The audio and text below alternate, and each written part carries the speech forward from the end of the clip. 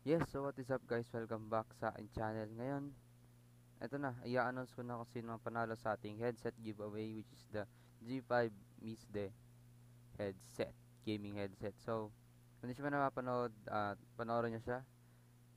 Ang lalagay ko ng card na lalabas sa upper right ng inyong mga screen. So, yun, so, bago simulan ang pagpipili ng ating winner, gusto ko munang magpasalamat sa lahat na nagsuporta ng aking channel.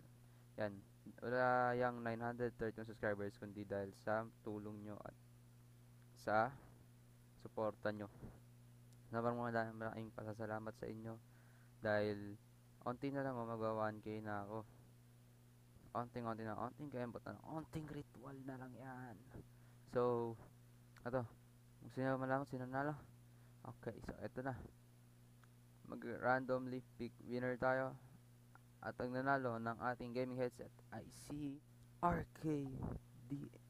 So, congrats sa iyo dahil ikaw ang nanalo ng aring gaming headset.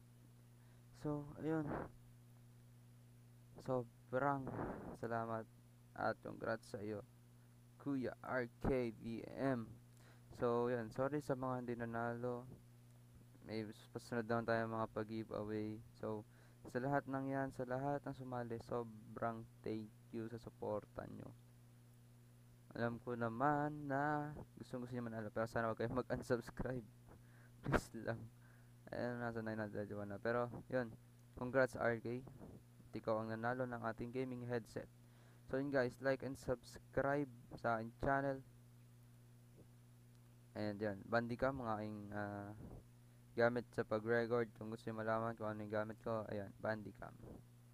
So, ngayon, 5.48pm. And, congrats sa iyo ulit, kaibigan.